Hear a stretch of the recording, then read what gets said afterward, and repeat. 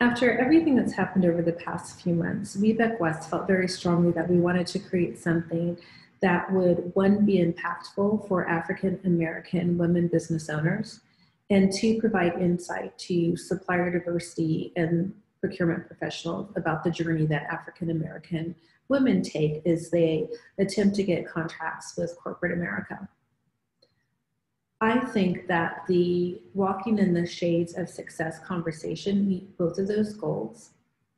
The walking in the shades of success conversation is just that. It's a conversation between four African American women business owners and a moderator who at one point in time was a WBE and now works for a corporation. The conversation is impactful, it's insightful, and it is extremely powerful. So I hope that you enjoy and please let us know what you think. All right, good afternoon, ladies. Um, my name is Lily Otieno. I'm currently the portfolio manager for major construction projects and programs at Southern California Gas Company. I've been um, in the diversity world for so many years that I don't care to say, but it's been a journey working alongside all the ladies today that you, you will meet. It's been a, a rewarding journey and it's also been a journey where we have moments where we learn. Today's conversation is really much pigging back on the social injustice um, that the, the country has experienced. But as we look at all the changes that are happening and where the conversations is going, we realize very quickly, like we've always known, that African American women are always thought of less. There is a perception and a reality for us where they say women, but when you look at the corporate numbers in diversity, African Americans as a population, we're about 14.3% or maybe 13, depending on what census numbers you're looking at. But when you look at procurement uh, within the African American especially women, we are at the lower numbers, about 3% to 4%. So as we look at this conversation, we want to ask ourselves, what can we do to be in the conversation? What can we do to help everyone else understand that diversity is also, there's diversity in the diversity. There's also a need for the numbers to speak for us.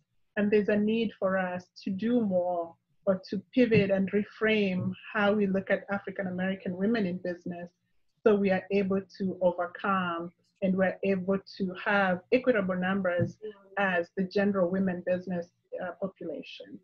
So with that, I'd like to um, introduce the panel.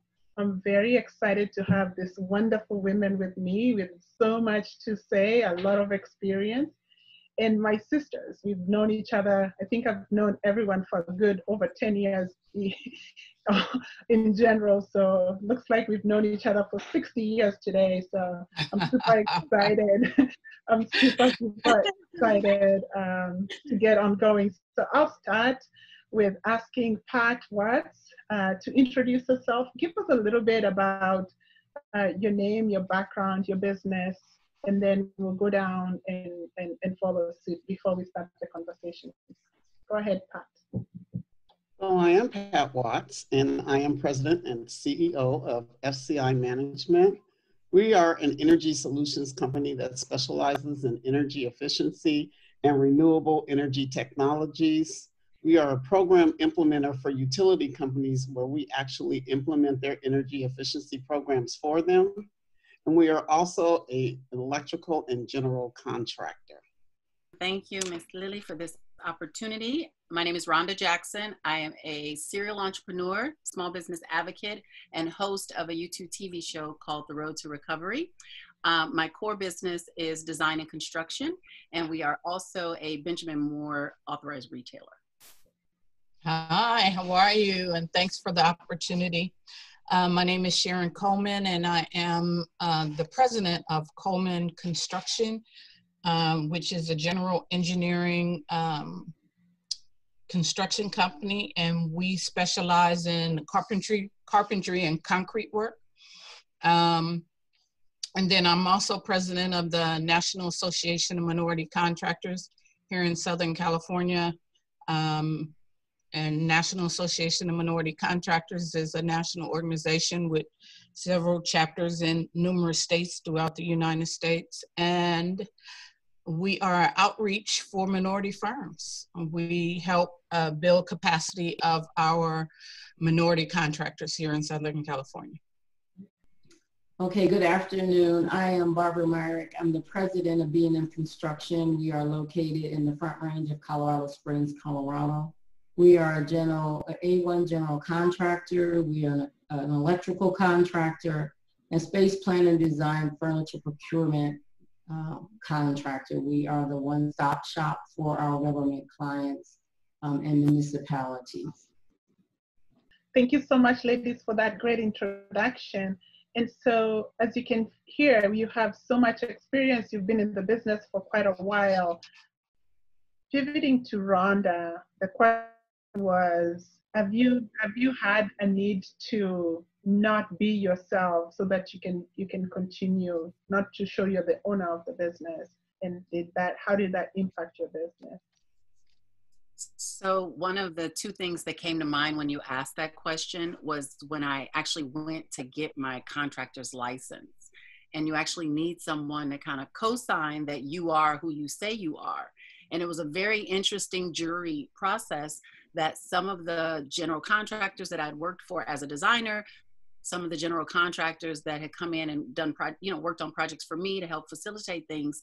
The the lack of support when I guess they maybe as males they felt like we were stepping over them, or you know, my, that was a few years ago, so I was uh, quite a bit younger and they thought oh you know you're too young you don't know anything about the business and you know but it's like we just work side by side on how many projects you have a few hundred thousand dollars proving that we did this process together like where's the faith now? So um it, it was interesting though but i was able i had to actually go outside of our community to get that validation which was really interesting to me. Like I, I, you know, make a point of supporting within my community, recycling every dollar I can.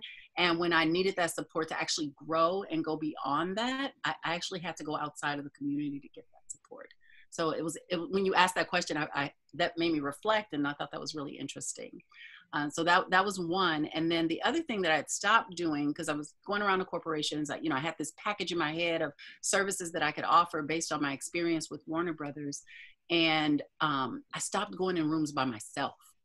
So they could make assumptions, they could pick from a, you know, the I called us the United Colors of Benetton when we sit at the table. Mm-hmm. So you know that old white yeah. man, black man, Chinese man. I get, I had it all covered. So no matter who was in the room, you're gonna find somebody on our team that you can relate to. But having not gone in rooms by myself, you know, we kind of they skipped over it because whoever they wanted to assume was the owner, they assumed it. They didn't maybe ask it out loud, but we could go on to the rest of the conversation. And uh, like Sharon was saying, by the end of the conversation, you knew who the owner was, but at least we could kind of skip over any kind of, um, you know, predispositions or assumptions that anyone might have wanted to make at the table.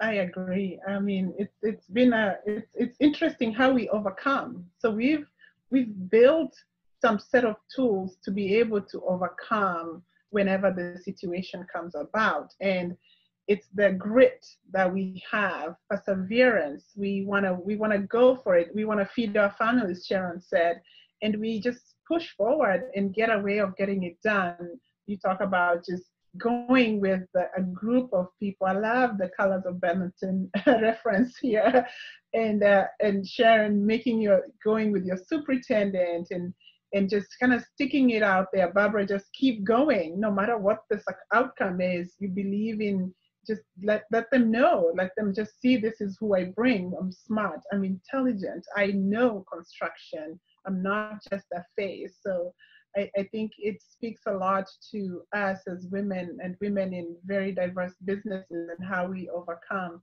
Pat, uh, anything from your side that you've seen that is one thing that you would like to see change as we start discussions in this corporate environment? How do we see change? What are the three top things you would tell a young Pat going into business and saying, hey, look, look out for this. What do I look out for? And what would that be or those be uh, ideas to look out for. What can what kind of young African American woman starting business today? What can they put their quiver in their tool set to be able to overcome um, when they start working for corporate America? So I think the first thing that they have to do, so there's a sort of a mixture of confidence and humility that you have to have when you're in an environment because everything can come at you.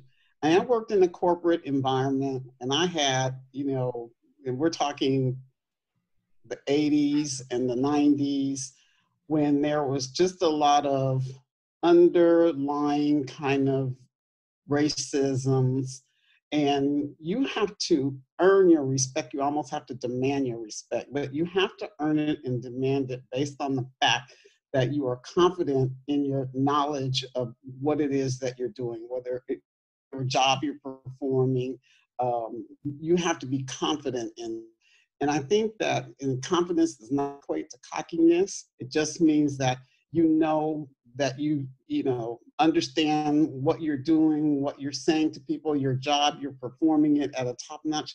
And you you have to take those same attributes and bring them into a business.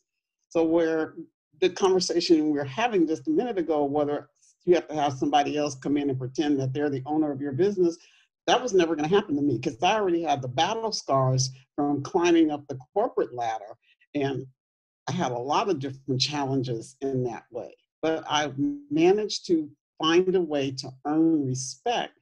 And I think I did it by being confident, not allowing anybody to run over me, and being knowledgeable of, of my of, of, my my personal skill sets in, in whatever it was, was I'm doing.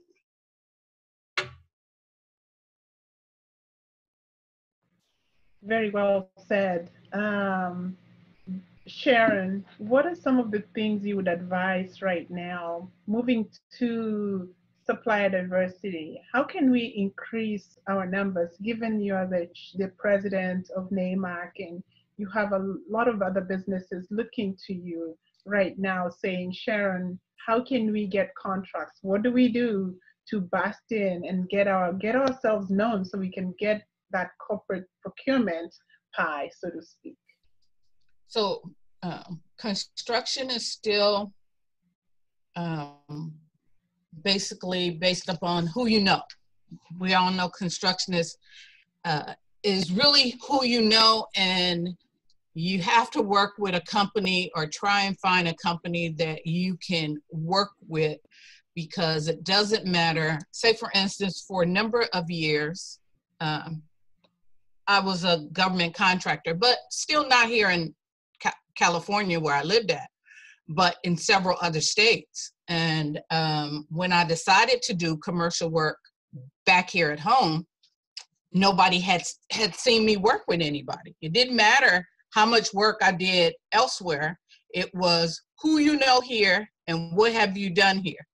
So you always have to. That's why we try to make sure our larger contractors in our organization try and hire somebody smaller so that therefore they can get some experience and somebody can vouch and say, oh yeah, they worked on my project. Um, um, so what we try and do is try to encourage teaming, mentoring, um, and other things like that in order to get a newer contractor some kind of recognition to say that they've done business and and and they are worthy of an opportunity. Um, we try and teach our contractors about uh, uh, since LA is extremely un- union based um, and continuing so.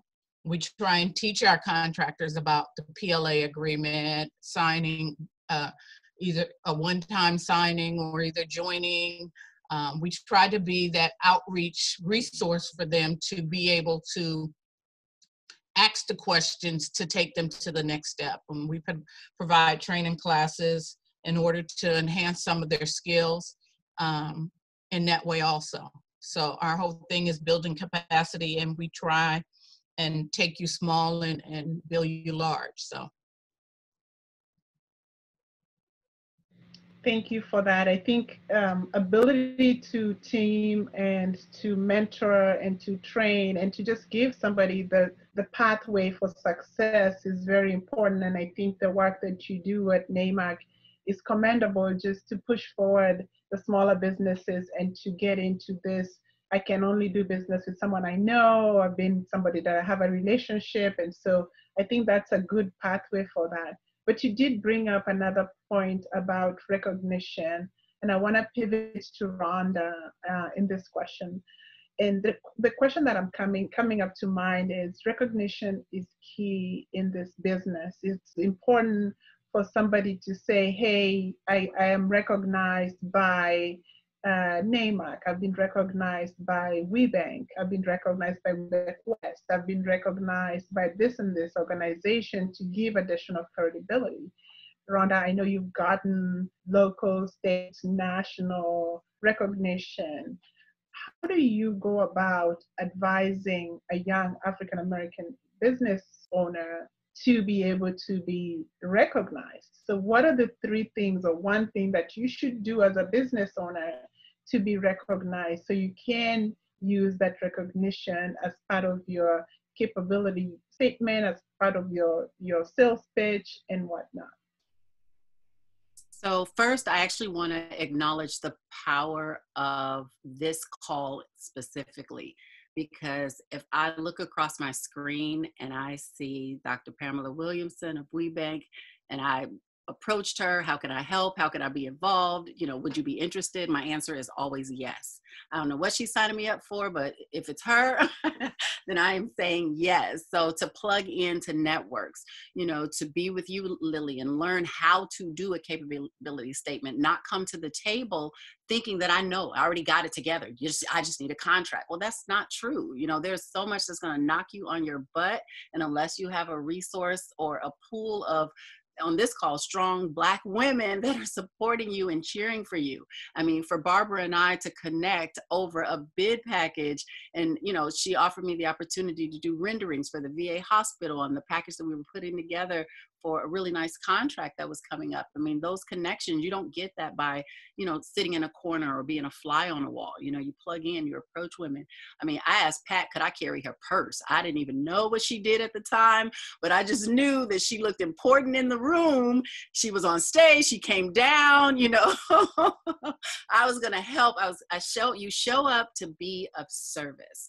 And when I saw the message on the bottom of Sharon Coleman's email as president of the National Association of Minority Contractors, and it said, show up, step up, right? So it wasn't just come to get, right? It was about, you know, how I can make deposits back, how I can, you know, contribute and others can benefit from. Be, be that me as an example, be that me and participating. And, you know, I've presented some of the classes that Sharon was talking about to share information with other contractors on you know how to build how to market themselves and, and what to do. So i think it's that collaboration. It's nothing that i could even take credit for that i solely had done but it's you know women that are in position that knew what was happening in those different organizations or those different arenas and that they were willing to you know help but they also saw someone that showed up and was willing to do the work.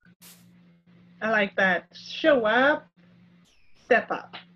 Um, I, I, wanted to take this moment as well to recognize the organizations that support us as women owners, and, and definitely Dr. Pamela Williamson with WBEC West, just being that anchor for African American women and all women in general, but in particularly taking the leap of faith and having a discussion in this way to pave the way for other women. And it's never an easy to be among the first. And Pamela, you're paving a big journey here. And we are following through because we trust you. We know your capability. We know you've shown up and you've stepped up. We've seen how you work. And so I think the underlying piece here is your credibility that Pat talked about. You know, you have to have a level of confidence. You you have to show up, participate, network, be in the discussion uh, always being part of the discussion so that, hey, somebody will call you, somebody will pick up the phone and say, I do know her and I can vouch for her. I can vouch that she's a good person. So a recommendation, so to speak. So we're coming up with a lot of recommendations or tools that we can use to provide to corporate America to help other women to increase the procurement of, of us for African American women today in corporate America. And I just, I cannot underscore it enough. And Barbara, I want to pivot to you. And one of the questions I'm coming to my mind is still the misconceptions of Black women or African American women don't collaborate, don't work together. But I hear just right now on this call, you've been collaborating, Pat, the same way, Sharon, Rhonda, all of you have been collaborating, and all of you have been successful in your own businesses. What are some of the things, uh, Barbara, that you would like to clear in terms of the misconceptions that Black women don't work together, we don't want to participate or partner, team, mentor, some of the things you've seen and we do to have frame the messaging out there that we actually indeed work together and support each other? I think um, we have to talk about it more. We have to talk about our collaborations more and the partners that we have. And I, I think um, even just sharing, you know, Rhonda talked about a job at the VA that we didn't get. And we worked hard to get it. I mean, we worked hard to pursue it, but we didn't get it. But that's not going to stop us. And I, I think we we don't talk about the partnerships that African Americans do. We don't talk about the joint ventures and mentor proteges and the coachings that African American companies do. We don't advertise it on our website. We don't talk about it from a volunteer perspective of what we do in the community. Those are the things that we don't talk about. I think those are the golden gems. Um, the boards that we sit on, the committees that we advise on. We, we don't put that those things on our resume. We don't put them on our website. We, we don't talk about it. And the reason I can talk about it now is because now I, I, I do so much in the community. And someone said, your name carries clout. I said, no, it doesn't. And he said, yes, I, I, I just want to do your website. I said, why would you want to do my website? He said, because it attaches me to you. And whether you believe it or not, you are forced to be reckoned with in the community. And I don't see myself as that. We don't see ourselves like that. We don't. And we need to start seeing ourselves like that. We need to start talking about our impact in our communities and how, what we volunteer in our nonprofits that we have. We need to talk about those things. And I am just learning this year to talk about those things and I've been asked to to be on platforms and speak and and it and it, it exposes us more and and I think we're those hidden gems where we don't talk about our successes like our counterparts do and I think we really need to start talking about ourselves. It's okay for us to brag about ourselves. It's okay to say that we Dr. Pamela Williams. I was so proud, honestly, when I found out she was African American. I said, oh my God, she's African American and she's running way back west. And, and you know, I started to hear like you, Rhonda, I went up to my liaison here and said, how can I help? And it wound up getting me to Pamela. That I can have a conversation, you know? And so um, I just love it when I can go to an event and see us. And I can hear us talk about our successes. We don't talk about ourselves. And I just think we have to talk about ourselves. I think we need, to be on more boards. We need to sit at state level committees. I just think we just sell ourselves short. And you know what? We, we just need to stop doing that. We just have to brag about ourselves and talk about ourselves and love who we are and love the skin that we're in we do. We just have to do that. And that's how we're going to inspire young black women to do to do and be the things that they want to be. That's how we're going to inspire when they can see somebody that looks like them sitting at the table, somebody that looks like them sitting up on a panel giving them advice, It's not the Oprahs of the world, it's the common lay people like us that is going to inspire them to dream big and pursue. Wow, well said.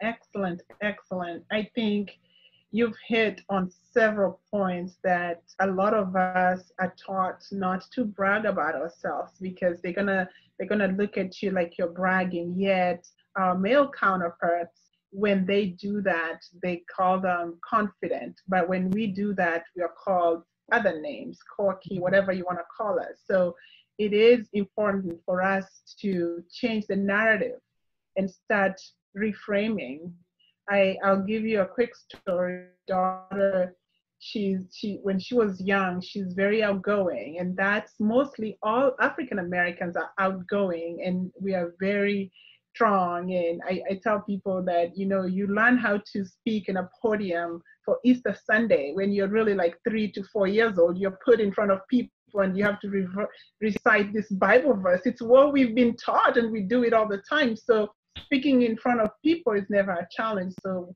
one time I was at a teacher conference and the teacher goes, You know, your daughter is very bossy. And I was like, What do you mean? What does she do? And and she started explaining that whenever the kids are playing, she wants to arrange them. She wants to make sure that they're doing this. She's she's she's doing all these activities. And then I told her, Isn't that a leader? Isn't she just being a leader? And she it took her back for a second and then she realized what she had just done is that you're calling her bossy, yet she's just being a leader. She's helping. She's helping you, in other words. She's helping arrange the students. She's helping with doing something. She's leading, and all the children do follow her. So it's in messaging, in how we frame ourselves, in how we look at ourselves is important and look at ourselves as the leaders that we are and embrace that role in whatever shape and form that we have. Uh, I feel like you brought in the hidden figures today in your conversation. Yes, we've been hidden for a long time.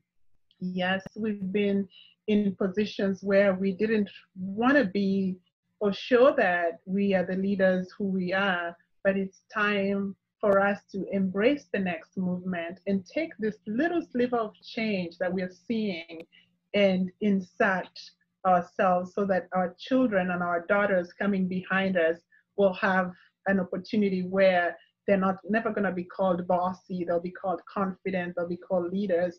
They're never going to be called you're too aggressive yet the, our male counterparts do the same thing and they call them uh, what do they, they, they say that they're uh, inspiring, they're doing certain things that we don't do. So bringing us out there, outside of the hidden figures world is a key for us women, African American women, to be able to take that next step. A journey begins with one step. And I always have uh, recited this poem every journey begins with one step. Every fire begins with one spark. Every successful business began with an idea, began with someone pushing their passion forward.